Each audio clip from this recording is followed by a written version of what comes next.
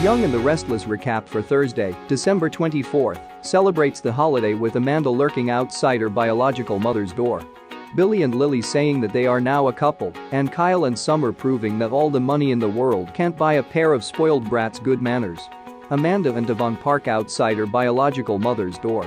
Amanda calls, but there's no answer. She decides to get out and knock on the door.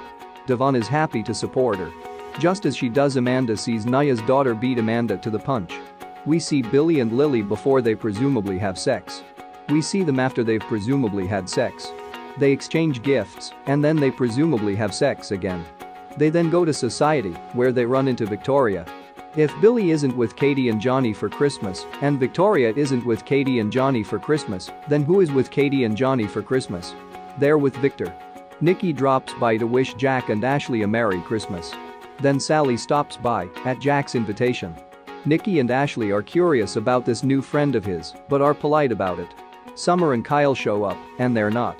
First, Summer glares daggers at Sally, then she and Kyle launch into a discussion of just how wonderfully matched and in love they are, and how they've known each other forever. And a cheap trashy interloper like Sally could never hope to measure up.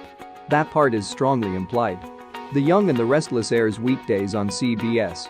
Check your local listings for airtimes.